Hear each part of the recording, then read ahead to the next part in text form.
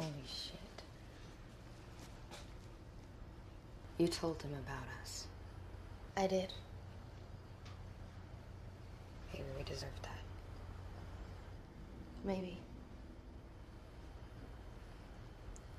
I didn't want to leave you there. I wish I could have done more. You did what you could. It wasn't enough. Nothing's enough anymore. I'm getting out of here. So should you.